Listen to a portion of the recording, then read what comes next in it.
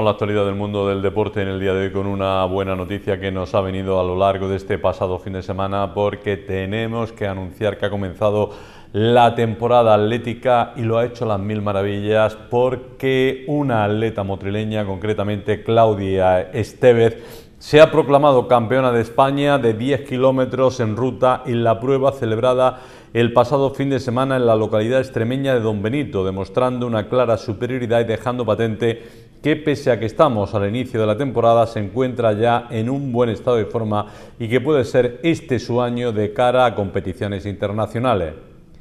Claudia Esteves cruzó la meta con un tiempo de 35 minutos, un segundo que supone además su mejor marca personal y la mejor a nivel nacional de esta temporada absoluta. Claudia Esteve estuvo en todo momento con las corredoras que marcaban el ritmo de carrera, como fue la marroquí Majida Ayub, una alicantina. En este campeonato tenemos que destacar también la medalla de bronce conseguida en su categoría en máster por su madre Claudia Martín Alcalde, que también realizó una brillante carrera consiguiendo la tercera posición. A partir de ahora, en el inicio de esta temporada, Claudia Esteve debe de empezar a marcarse retos más ambiciosos y, por qué no, soñar con poder asistir a una Copa de Europa o a un campeonato europeo. Pues de aquí nuestra felicitación para Claudia Esteve, campeonato de España absoluto de 10 kilómetros en ruta, una especialidad en la que se está preparando la atleta motrileña. Y ya que estamos hablando de, atletismo, de pruebas atléticas, tenemos que hablar de una prueba, una marcha que organizó el pasado fin de semana la Asociación Mucho Corazón, una marcha cardiosaludable que congregó a varios centenares de personas que durante algo más de una hora estuvieron recorriendo Motril, una actividad que se realizó en homenaje al doctor Díaz Castellanos. Motril celebró el Día Mundial del Corazón con el desarrollo de una marcha cardiosaludable en recuerdo del doctor Díaz Castellano que estuvo organizada por la Asociación Mucho Corazón y que congregó a varios cientos de personas que durante varias horas recorrieron Motril una actividad con la que se pretende concienciar a la población de la necesidad de fomentar hábitos de vida saludables como principal pilar de la prevención para la salud, según reseñaba el presidente de esta asociación, José Antonio Maldonado. Y hoy hay que pensar por encima de todo en la vida, la vida que es la que disfrutamos cada día todos los que estamos aquí. Y hoy especialmente con este paseo saludable. Por eso, en nombre de Pacientes Cardíacos Sur de Granada, deciros a todos gracias, especialmente a nuestra alcaldesa que hoy nos acompaña en este paseo saludable y como he dicho antes, es un día para recordar a alguien que fundó junto a nosotros Pacientes Cardíacos Sur Granada, Miguel Ángel Díaz Castellanos, y por supuesto recordar a tantos médicos, hombres y mujeres, que ya no están entre nosotros y que también, igual que Miguel Ángel Díaz Castellanos, defendieron la vida. Hoy nos toca a nosotros hacerlo de otra manera, dando un paseo y sobre todo hacer deporte, porque sabéis que el deporte es muy bueno para nuestro corazón y para nuestra salud. Por eso hoy toca, como he dicho al principio, disfrutar de este gran día y recordar que siempre, siempre, siempre lo más importante es que guardemos la distancia por el tema del COVID, que de alguna manera nuestro corazón es importante que se mueva en nuestro cuerpo. Y hoy toca, lógicamente, hacer ese recorrido. Así que gracias a todos y a ti, alcaldesa, especialmente. Además sirve para dar a conocer la propia asociación. Por supuesto, son ya 12 años de recorrido, ya creo que se nos va conociendo cada vez más. Y de alguna manera, después de este año y medio largo de COVID que hemos tenido, lamentablemente no se han podido hacer muchas cosas en cualquier ámbito, pero a nosotros en nuestra asociación nos toca con el arranque de hoy no parar ya esa cartera de acontecimientos y de actos y de conferencias que tenemos preparados para ya no parar. Por eso nuestra asociación va a seguir la misma línea que es defender la vida y luchar porque el deporte es muy importante para nuestra salud, Pedro. Un evento que contaba con una amplia preparación, por ello, en la Plaza de la Esperanza, al pie del Cerro de la Virgen, eran muchos los voluntarios que se daban cita y que preparaban las bolsas que iban a ser repartidas a cada uno de los participantes. Eh, ha venido bastante público, ha venido bastante socio y está bastante bien, gracias a Dios.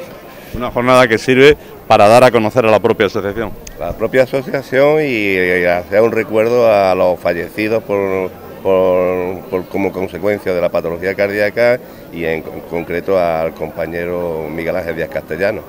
¿Qué estáis repartiendo? Pues estamos repartiendo un bollillo de pan de aceite, una fruta, un zumo y una botellilla de agua. Todo cardiosaludable. Sí, iba a decir, todo muy pero que muy saludable. Claro. Eh, de eso se trata. Se trata de, que los pacientes que tenemos patología de corazón pues podamos ayudarnos en un día como hoy. Mañana es el Día Mundial del Corazón y, aquí estamos, acompañándonos eh, con los familiares, con los amigos y con los que ya no están.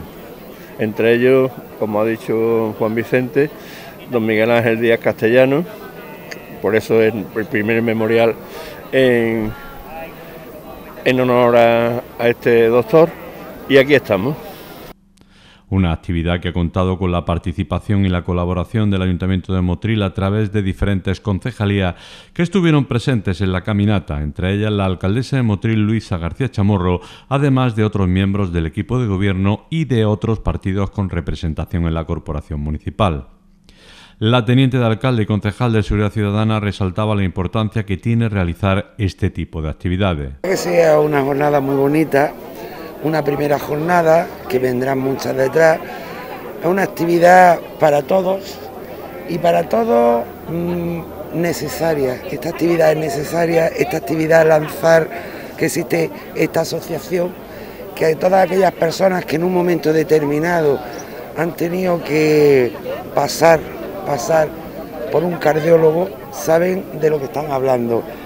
Eh, debemos de, promocionarla, debemos de hacerla. Ellos, la asociación en particular, eh, da muchos consejos a esas personas que en un momento de su vida se han visto eh, entre la vida y la muerte y cómo, qué, qué vida es la que tienen que seguir, qué movimientos son los que tienen que hacer, qué actividades son las que tienen que hacer. Y hoy, hoy es un día bonito, un día para la salud, para Mm, felicitarlos, para felicitarnos y para seguir, seguir en estas actividades. Estas actividades son buenas, no solamente para los que tengan o no tengan, sino en general para todos, porque también es una actividad de prevención. El, eh, estar sentado continuamente en unas actividades que no, no son las nuestras mm, comunes hace que muchas veces eh, nuestro corazón no vaya mal, no vaya bien. Yo le doy las gracias, yo le doy las gracias por, esta actividad y que no sea la, sea la primera de muchas más.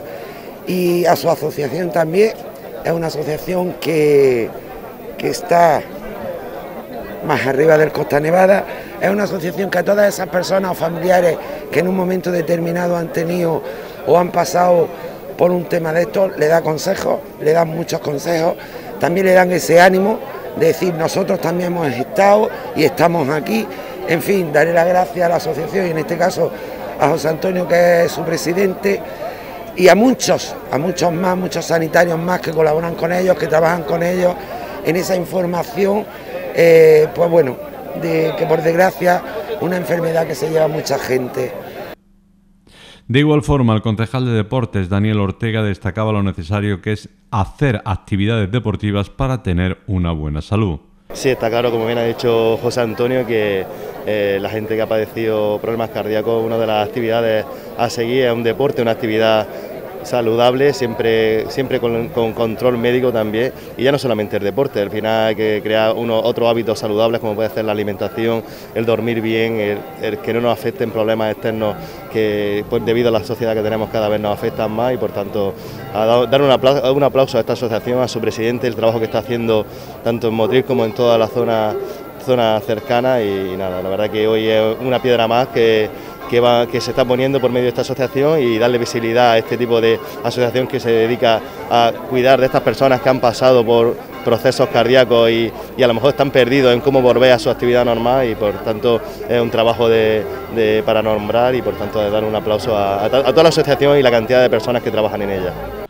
Una cita de indudable interés que la alcaldesa de Motril, Luisa García Chamorro, ha puesto de relieve como lo ha hecho con respecto a la labor que realiza esta asociación. Este primer, este primer memorial Miguel Ángel Díaz Castellano, pero también es que tenemos que poner de manifiesto que gracias al esfuerzo y al trabajo de la Asociación Mucho Corazón es la primera actividad popular que se realiza después del COVID. Como, consecuencia del COVID, todas las actividades populares, carreras, paseos se paralizaron, se pararon y esta es la primera que, realizamos.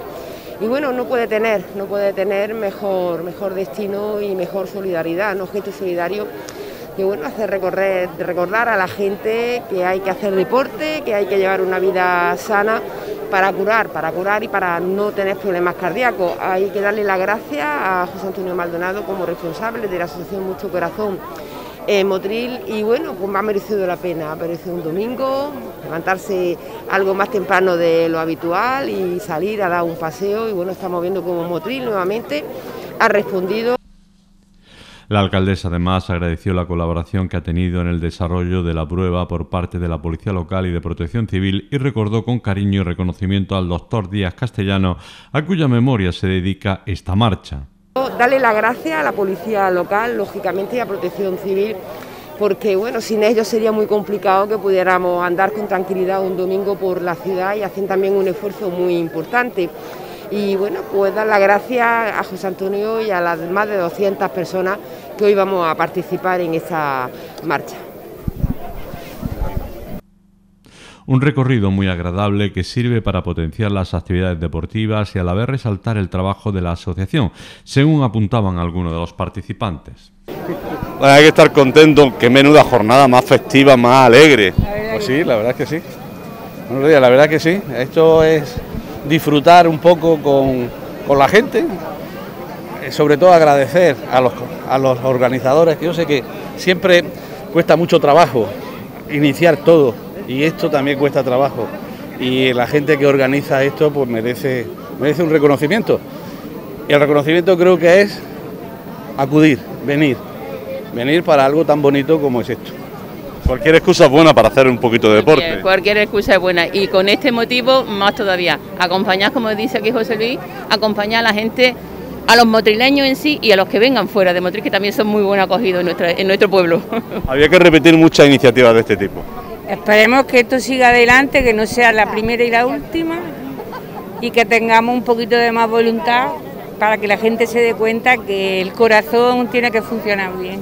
Y que la asociación organice más actividades. Exacto. Sí, claro. Eh, todo lo que sea eh, eso, realizar actividades, todo lo que sea eh, acoger a las personas, de alguna forma mm, entretenerse en algo, en algo saludable, como es esto, muchísimo mejor. El deporte, concienciación en cuanto a, a las precauciones que debemos de adoptar, tanto en la comida como en nuestra vida normal pues todo esto son actividades que de verdad deberían de, deberían de, ya que se ha iniciado, deberían de seguirse y ojalá, ojalá podamos contar con muchas actividades de todo tipo.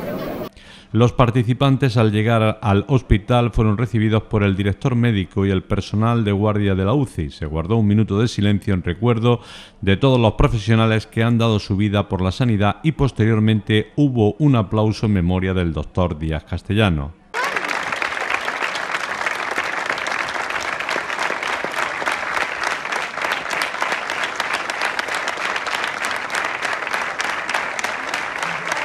La ruta cardio saludable concluyó al pie del cerro con una foto de familia para inmortalizar esta primera actividad popular después de la pandemia.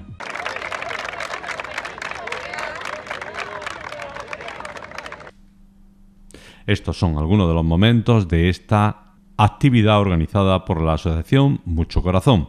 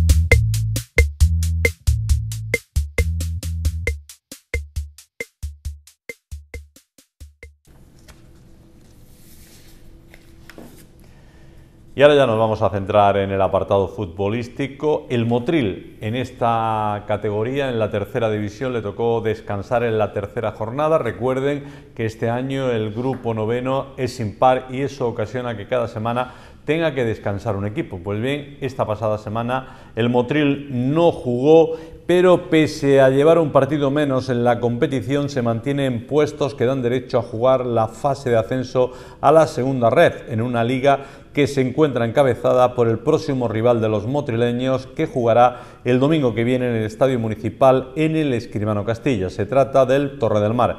Estos fueron los resultados de la tercera jornada del campeonato. Alaurín de la Torre 0, Ciudad de Torre Don Jimeno 0, Intergym Melilla 1, Torre Perejil 4, Marbella 2, Unión Deportiva Almería 3, Club Deportivo Alaurino 2, Huetor Vega 2, Club Deportivo Huetor Tájar 2, El Palo 0, Juventud de Torremolino 0, Unión Deportiva San Pedro 0, Atlético Porcuna 3, Club Atlético Malagueño 2 y Unión Deportiva Torre del Mar 3, Real Jaén 1. Como decíamos, le tocó descansar al Club de Fútbol Motril. La próxima jornada a disputar este próximo fin de semana será Ciudad de Torre Don Jimeno le tocará descansar, Torre Perejil a Laurín de la Torre, Unión Deportiva Almería Intergym Melilla, Club Deportivo Huetro Vega Marbella, Club Deportivo El Palo, Club Deportivo Alaurino, Unión Deportiva San Pedro Huedortájar, Club Atlético Malagueño Juventud de Torremolino, Real Jaén Atlético Porcuna, Club de Fútbol Motril Unión Deportiva Torre del Mar y la clasificación, una vez disputadas tres jornadas, está encabezada por la Unión Deportiva Torre del Mar con siete puntos. Segundo, Almería, siete puntos. Tercero, Club de Fútbol Motril con seis, un partido menos. Cuarto, Huetortájar con cinco. Ciudad de Torre Don Jimeno con cinco. Juventud de Torremolinos con cinco. Club Deportivo Alaurino con cuatro. Alaurín de la Torre cuatro. También con cuatro puntos están Marbella, San Pedro y Atlético Porcuna. Tres puntos para Huetor Vega y Torre Perejil. Decimocuarto Atlético Malagueño con un punto. Decimoquinto Club Deportivo El Palo también con un punto. Y cierra la tabla clasificatoria el Inter Gym de Melilla con cero puntos y el Real Jaén con un partido menos, pero con menos tres puntos.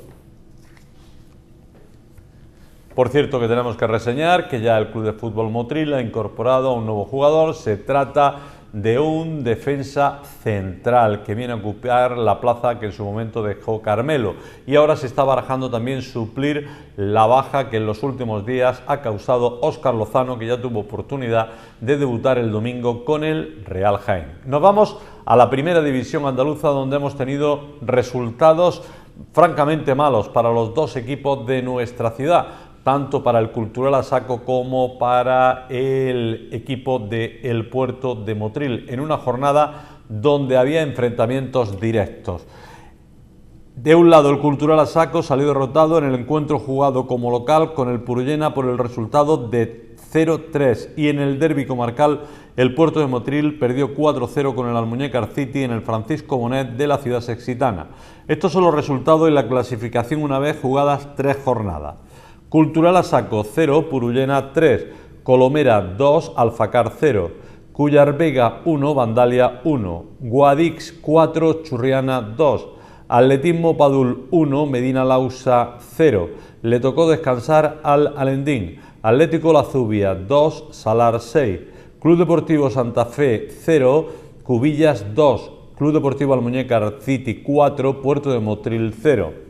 La próxima jornada será Purullena Almuñécar City, Alfacar Cultural Asaco, Vandalia de Peligros Colomera, Churriana Cuyar Vega, Medina Lausa Guadix. Le tocará descansar al Atletismo Padul, Salar Alendín, Cubillas Atlético La Zubia, Puerto de Motril Santa Fe. Y la clasificación de esta primera división andaluza se encuentra encabezada por el Guadix con 7 puntos.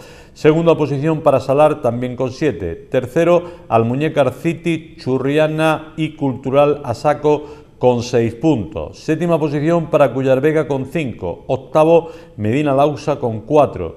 Novena posición para Cubillas con 4. Décimo Atletismo Padul 4. Décimo primero Vandalio de Peligros con 3. Décimo segundo Purullena con 3. Décimo tercero Santa Fe con 1. Los mismos puntos que lleva la Zubia y Puerto de Motril y Alfacar. Y cierra la tabla clasificatoria el Anendín con cero puntos. Por cierto que el Cultural Asaco está pendiente aún de la resolución del comité de competición en torno al, recurso presentado por el equipo visitante en torno al partido que jugó en la primera jornada que consiguió ganar el equipo del Cultural Asaco. Teóricamente, en base a la protesta formulada, presentó alineación indebida, aunque ya se ha formulado el recurso por parte del equipo motrileño.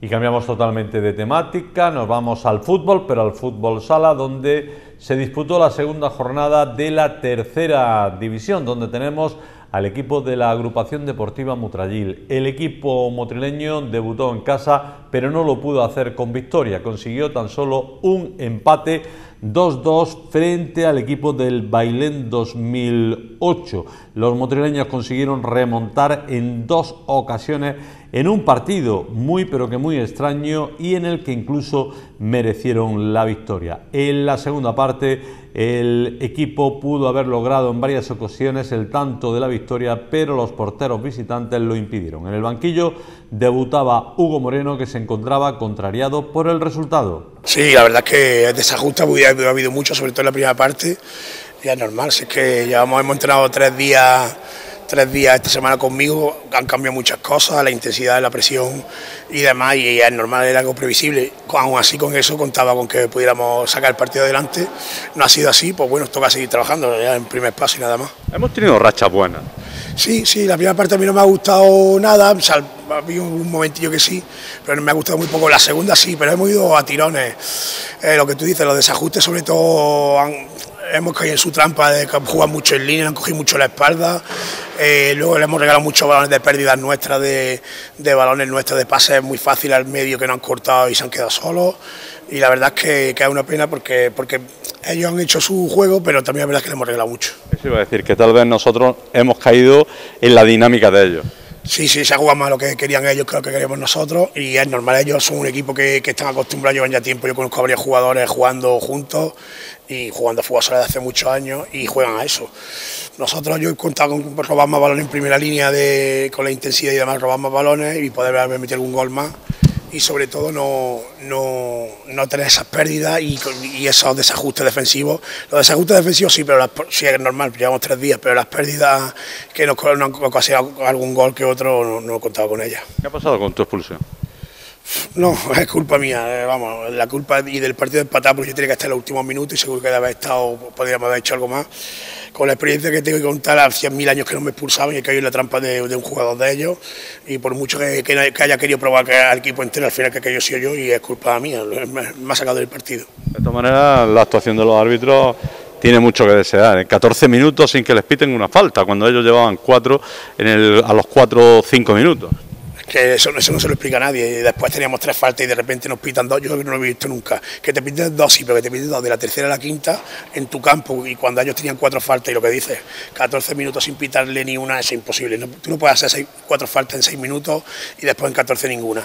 Y nosotros que teníamos una pasaba a cinco con doble falta y todo pero bueno, además los árbitros, sobre todo el Moreno, de pegando de prepotente, de no dejaban ni hablar, ya les decía que no te dirija a mí, hablando mal, y no sé, a lo joven que hay yo que, que, se está tomando un humo muy, muy grande. Tal vez tendría que explicar ese árbitro, aunque tú no estuviste, el gol que le anuló a Miguel Ángel, ¿no? Porque casualmente es el mismo árbitro, yo no sé cómo la federación vuelve a mandar el mismo.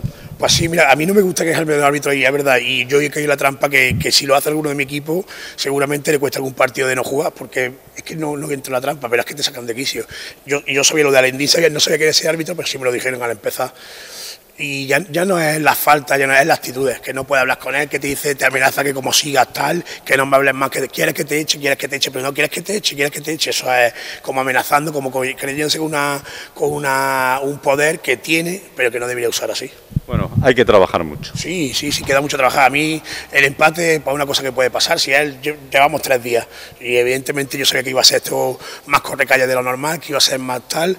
Yo no contaba con las pérdidas, con las pérdidas, desajustes defensivos tiene que haber vez, porque es que es normal, además el otro equipo sabe lo que juega, pero, pero bueno, hemos tenido pérdidas de cosas y la última falta de, la primera parte, cosas muy, muy que no me espero yo de, jugadores como los que tenemos, pero bueno, hay que trabajar mucho y, queda mucho por delante. Ahora ya hay que pensar en la próxima semana donde ya poco a poco sí se verán viendo esos ajustes tuyos. Sí, se verá un poco más, pero bueno, yo a mí la verdad es que con el sistema que tenemos siempre tardo tres, cuatro semanas por lo menos, pero bueno, la verdad es que, corregiremos sobre todo los desajustes que hemos tenido, que son muy claros y son fáciles de trabajar.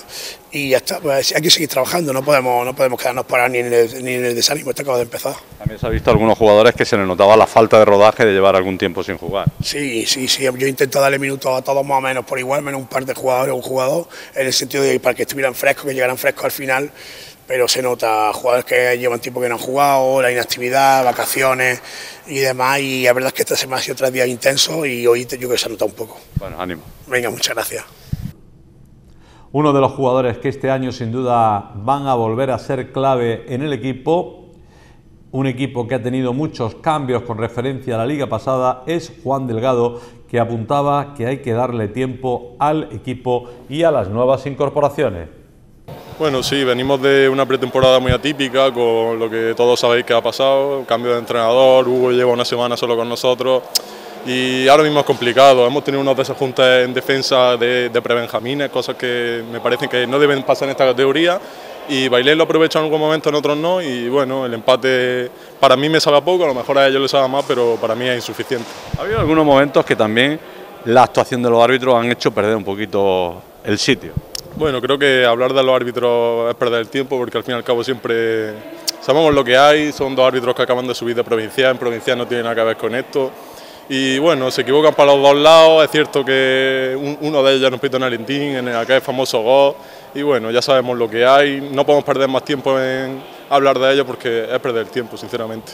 yo la verdad es que cuando lo he visto hoy y después del gol anulado el otro día en Alendín, que todavía no me lo explico, no me explico tampoco lo que ha pitado en los últimos cinco minutos.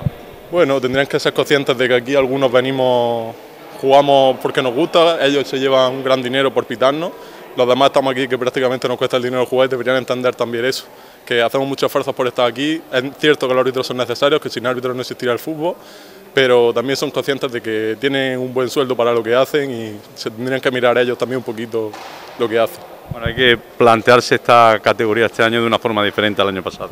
Bueno, me parece que eso sería, no sería, para mí, para mi manera de ser, no sería lo correcto, yo no lo pienso así.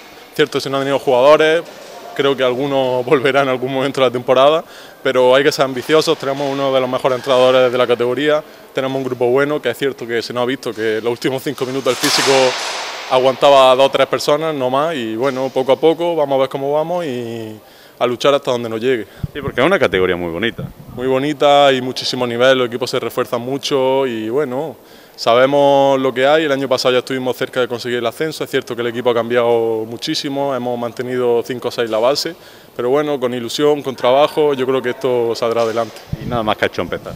Sí, por eso llevamos dos jornadas y bueno, es cierto que una liga muy corta, a mi parecer, el año pasado nos benefició, este año a lo mejor echamos en falta más jornadas, pero bueno, ya está, a seguir y a pelear. Bueno, suerte. Gracias. Apuntar que Emilio Antúnez decía que hay que tener confianza en este equipo y hablaba de el nuevo entrenador que se sentó por primera vez en el banquillo. Habló de Hugo Moreno. Sí, es para jugar de otra manera, no tiene a José Heredia, no tiene a Justo, no tiene a Parry, pero sin embargo tiene a Ortega, tiene a Héctor, tiene a probablemente se recupera a Edu y a, y a Eri, son gente de más batalla son Rubén en el pivo, que el año pasado teníamos de esas características solo a Juanma y, al final fue cuando el chaval se le dio la oportunidad de poder demostrar que nos pudo ayudar y, no, y lo hizo. Entonces mm, es otra manera de, disputar, distintamente además de la forma de jugar que tiene el nuevo entrenador, que va a ser apretar la primera línea desde, el minuto uno, correr mucho, hacer cambios muy, muy volátiles y vamos a ver partidos de, muy alto nivel sin, sin, quererlo porque así lo plasma el entrenador. ¿El resto de los equipos que tenemos esta temporada? Bueno, la verdad es que son muy inciertos, ¿no? Pues elegido, por ejemplo, que ha ascendido este año, tiene un equipo muy competitivo de, gente de mucho renombre de la parte de Armería. Luego Kiosco ha hecho un, prácticamente una selección, aunque espero no equivocarme y, quizás si tienen alguna derrota que otra entre los pocos entrenamientos que creo que van a hacer, será un equipo a tener en cuenta en momentos puntuales. Eh, luego tiene el equipo de Vicas que ya el año pasado fue casi el juez, estuvo ahí tercero cuarto todo el año, al final se cayó. Los equipos de Granada, pues Alendín que ya lo conocemos bastante, Albolote que acaba de ascender, lo vamos a tener ahí como la, posible sorpresa o irá a su sitio. Y el equipo de Bailén, que es gente muy experimentada, que si se queda y entrena, pues será tener muy en cuenta. De lo contrario, pues estará ahí dando morcilla en los partidos puntuales y, los que seamos capaces de mantener la regularidad, seamos los cuatro que nos metamos a jugar esa segunda fase. La jornada segunda tuvo los siguientes resultados. Club Deportivo Albolote 3, Sporting de Almería 9. Motril Mutrayil 2, Bailén 2, Club Deportivo Elegido 4, Futsal Montevive 7, Club Deportivo Vícar 2, Gador 3. La próxima jornada será la siguiente: Albolote Mutrayil, Bailén Club Deportivo Ejido, Futsal Montevive Alendín, Club Deportivo Vícar y Club Deportivo Fútbol Sala Almería Kiosco Luis Marín, Club Deportivo Gador. El kiosco Luis Marín encabeza la tabla clasificatoria con seis puntos, los mismos que lleva Gador, Montevive, Alendín. Con tres puntos es cuarto Albolote, próximo rival de los motrileños. Quinta posición, con un punto para Bailén 2008, Mutrayil y cierran la tabla Club Deportivo Vícar y Polideportivo Ejido. Ahora mismo jugarían la fase de ascenso el Sporting Kiosco Luis Marín, Gador, Montevive, Alendín y Albolote y estarían por el descenso Bailén, Motrayil, Vícar y Contrasa, así como Polideportivo Gido. Nos vamos a despedir en el día de hoy. Motril tiene en el ciclismo de montaña a una modalidad deportiva con muchos adeptos y que poco a poco va creciendo. Acaba de cumplir su primer año y la Escuela de Mountain Bike Puri López, que es una iniciativa que surgió tras el impulso de esta propia monitora, está creciendo poco a poco. Súper contenta. ¿Era lo que esperaba? Yo me lo esperaba. Me lo esperaba por la afición que veo cuando salgo a entrenar, porque yo compito, soy ciclista de montaña, y aquí hay mucha afición. Había mucha gente que por no salir sola, por no se atrevía a adentrarse en la montaña. Entonces, eh, la escuela es una vía para conocer nuestros montes, poder hacer ciclismo en grupo. Los padres a veces participan con los niños en las salidas que hacemos. Entonces, yo mm, mm, estoy teniendo la respuesta que tenía en mente.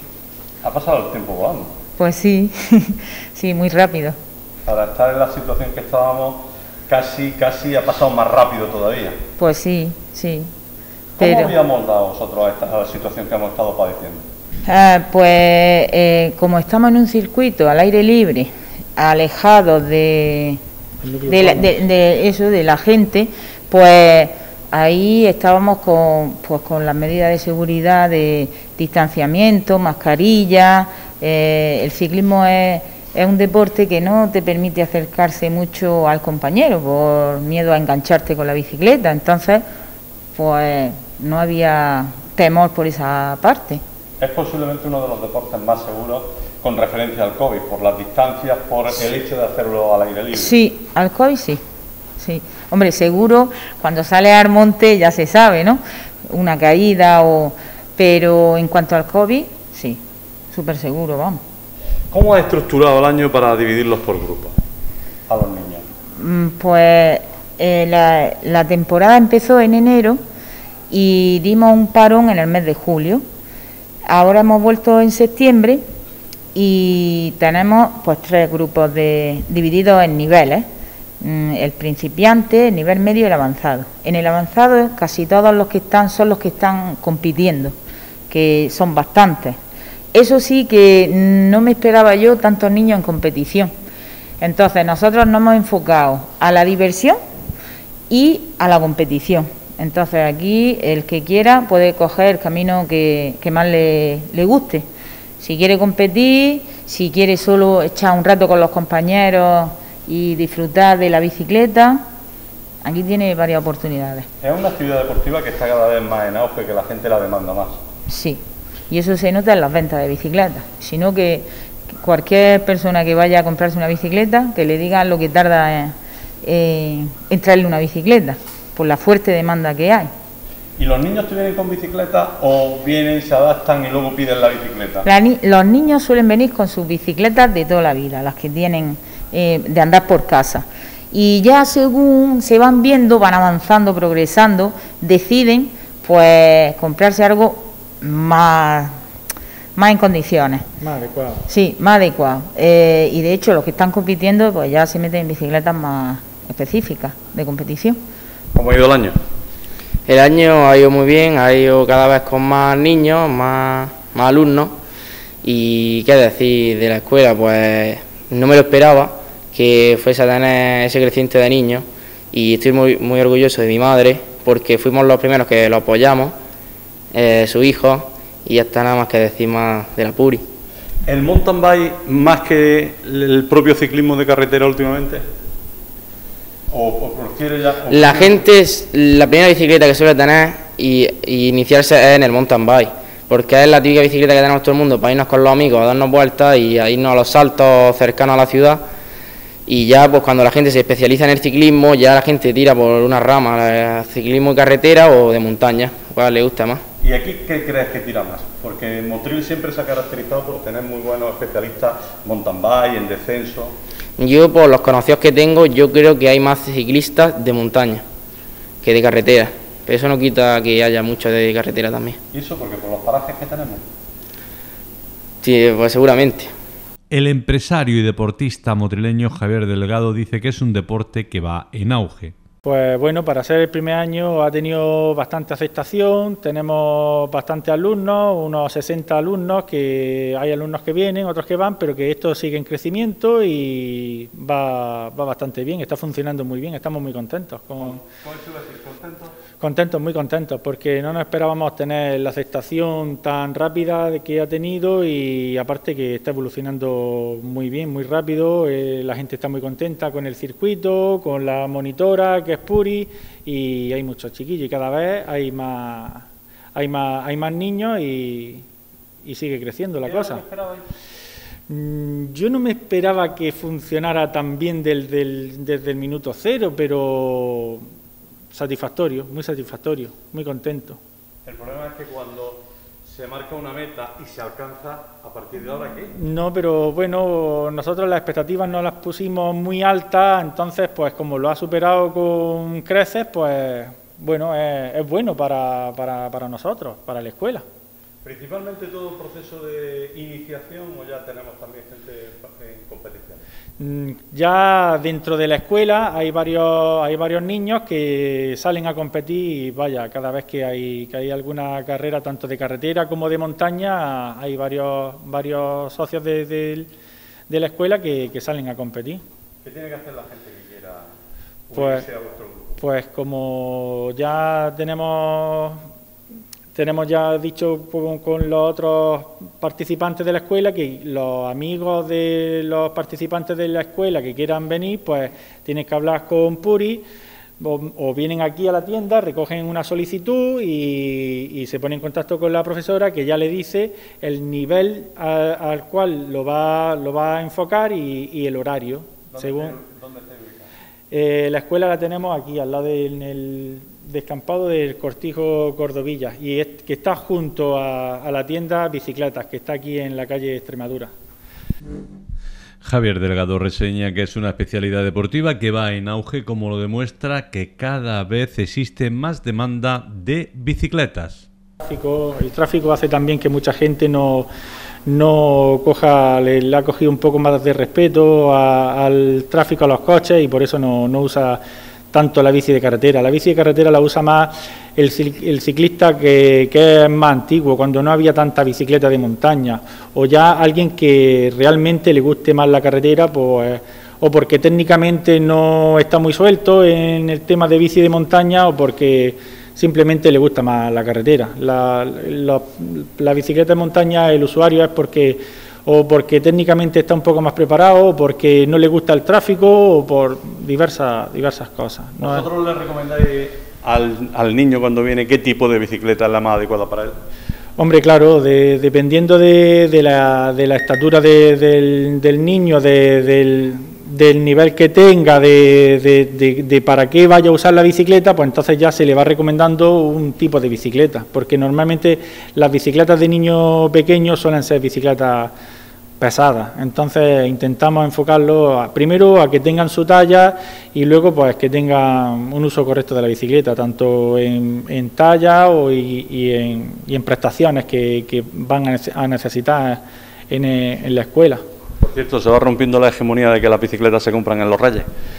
Mm, cada vez menos. La bicicleta se compra en los Reyes cuando es, pues eso, para un niño pequeño, pero ya la venta de bicicletas es, todo el año, es todo el año. Tanto, tanto el que ya es ciclista y va rotando de bicicleta porque le gusta cambiar por una mejor, un modelo más actual, más, más acorde a, las expectativas que, va teniendo con el uso de la bicicleta, o el que se inicia por, por salir con los amigos y bueno, comienza, comienza la práctica en, este deporte. Que, ¿Y está en auge ese mercado? En auge, sí, en auge sí está porque debido a la pandemia, eh, a la vez tantos cierres de gimnasios y de espacios cerrados para el uso del deporte, la bicicleta ha sido una, una vía de escapada para, para, la gente que le gusta el deporte y hay gente que le ha dado por correr y otra mucha gente que le ha dado por, por el ciclismo. De hecho, el crecimiento ha sido brutal de, la gente que, se ha metido en este, en este deporte del ciclismo. una invitación para que la gente venga a conoceros simplemente y si le gusta que se quede. Pues bueno, yo lo tengo dicho, que el que quiera venir a mi escuela puede venir cuando quiera, mm, echar un día con nosotros y si le gusta que continúe. Que no le gusta, pues nada, que busque otro deporte. Pero vamos, las puertas de nuestro circuito están abiertas a todo el mundo. A una invitación tú también como practicante que eres de la actividad. Una invitación, pues el circuito empezó siendo unos simples saltos que hizo otra gente y nosotros lo hemos ido adaptando y trabajando. Hemos echado muchas horas en ese circuito, tanto cortando cañaveras que cortaban las veredas, también lo hemos agrandado zonas donde estaba inaccesible el paso, lo hemos hecho también otras zonas, hemos hecho saltos, hemos hecho pedarte, hemos hecho de todo. Y invito, por tanto, como los maestros, los compañeros, todo. Por cierto, ¿cuál es tu especialidad? Del ciclismo, mountain bike. ¿Y qué es lo que más te gusta? Rally. ¿Y qué tal te está yendo? Eh, me fue. Estuve compitiendo varios años, desde chiquitillo estaba con la bicicleta y empecé a competir, a competir. Estuve en campeonatos de, de Andalucía y ahora mismo estoy más flojillo. Ahora estoy con, ayudando a mi madre con los niños, saliendo cuando puedo los estudios y, otros deportes también que, que vamos cogiendo. La escuela cuenta con niños desde los 5 años y se encuentran divididos en distintos grupos. El concejal del área de deportes, Daniel Ortega, resalta el auge que está teniendo esta iniciativa deportiva. Pues sí, la verdad que el funcionamiento de la, de la escuela está siendo un, éxito y también al final es, fruto del trabajo que está haciendo Puri, que cómo trata a los niños, cómo trata no a los niños solamente, trata a los niños bien, trata a los padres bien y al final crean una familia y al final lo que se está creando es una familia que viene a practicar esta especialidad del mountain bike en un circuito que empezó con muy poca instalación y ahora pues ya tenemos un circuito mucho más más grande, fruto del trabajo de, todos los que han querido colaborar para ayudar en el circuito y al cual animo a, empresas que quieran colaborar con la escuela para, para echarle una mano, porque al final eh, estas escuelas tienen que tener un pelín de ayuda por parte de ese tipo de empresas que quieran ser patrocinadores para luego aparecer o bien en el mayor o bien en las camisetas que ellos que ellos hacen y por tanto pues animo a esas empresas a que puedan echarle una mano a Puri porque la verdad es que está haciendo un trabajo con los niños excepcional. Voy a demostrar que en Momotriz le gusta el ciclismo, le gusta el mountain bike, le gusta el descenso, le gusta cualquier especialidad relacionada con las dos ruedas. La verdad es que tenemos un tesoro aquí que es la zona de la Bollarenga que, que queremos explotar, nomás estamos Estamos a ver si el año que viene podemos hacer una prueba en el circuito de diputación de una media maratón de, mountain bike y la verdad que estamos a trabajar en ello y yo creo que con suerte el año que viene podremos disfrutar de esa prueba. Será muy bonito para pegar ya ese espaldarazo definitivo. Sí, la verdad que la gente en el momento que conozca la zona de la Bullarenga y todas las zonas que, hay aquí, no solamente la Bullarenga, yo creo que va a ser el primer año de que se haga la prueba, pero va a ser un destino para muchísimos ciclistas de toda Andalucía y de toda España para venir a Motril. Nos vamos a despedir en el día de hoy felicitando a un deportista motrileño, a Cayetano Moriche, que consiguió el pasado fin de semana en San Fernando, Cádiz, nada más y nada menos que el Campeonato de Andalucía de Alterofilia. Recuerden ustedes que hablábamos con él el día anterior a marcharse ese campeonato y decía que tan solo iba para aprender porque se enfrentaba a deportistas que son dos años mayores que él. Participa en una categoría muy pero que muy superior para sus 14 años. Desde aquí nuestra felicitación, como decíamos, a Cayetano que ha conseguido ese campeonato de Andalucía. Y yo creo que están los mejores de Andalucía, yo creo que va a ser de las mejores competiciones que hay a nivel andaluz y a disfrutar, la gente vaya a disfrutar. Tú, 14 años, vas a enfrentarte con gente mucho más mayor, lo cual para ti debe ser un hándicap muy importante. Sí, pero al fin y al cabo yo voy allí a aprender de, de los mejores, lleva más años que yo entrenando, lo que tengo que ir allí a aprender de ellos y algún día llegar a levantar lo que ellos levantan. ¿Qué esperas hacer?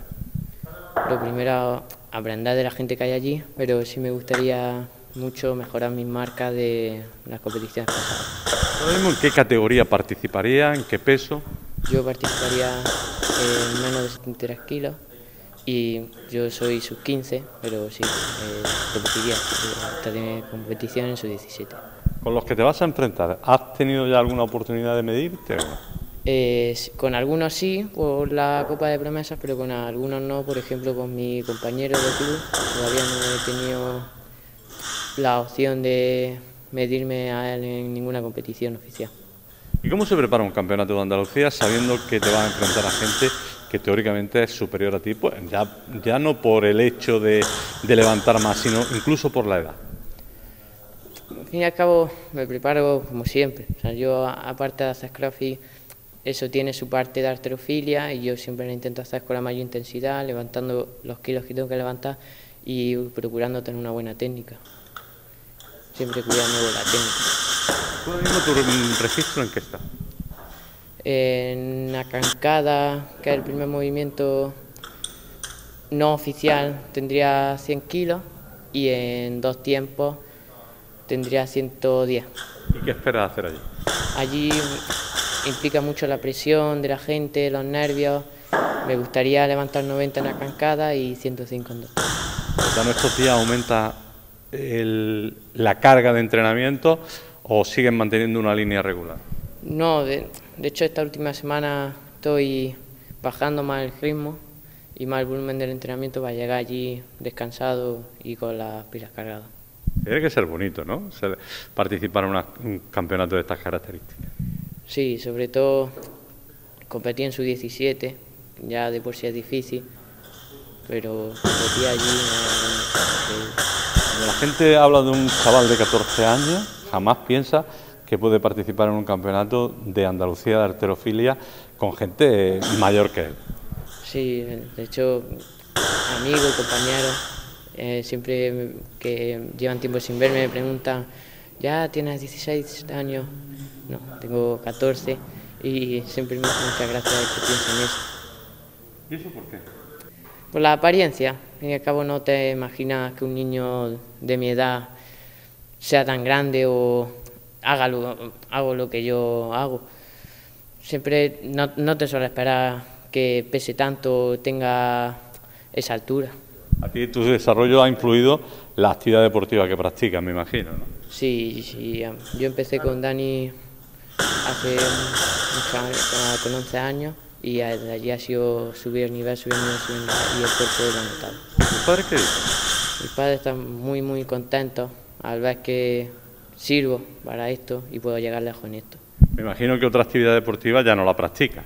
No, yo he practicado fútbol, natación mucho tiempo y tuve un año que no practiqué nada y me, me, me obligaron a venir aquí prácticamente y me empezó a gustar, iba cada vez más, cada vez más, hasta que ahora estoy aquí toda la tarde prácticamente. No sé, te voy a decir que ya aparte de eso no te queda tiempo para ir a hacer otra práctica deportiva, porque entre los estudios y el tiempo que te tiras en el gimnasio prácticamente tendrás el día ocupado. No, yo las tardes salgo del instituto, me vengo aquí y eh, salgo de tipo justo para estudiar, ducharme, cenar y dormir. ¿Seguro que no estudias?